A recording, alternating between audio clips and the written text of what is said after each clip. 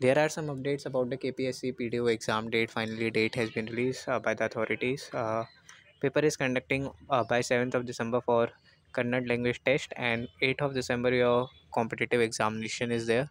Uh, so as many candidates were uh, waiting sir when the paper would be conducted. So dates have been announced. Finally admit card is releasing before a week. So you will be able to check before a week your admit card.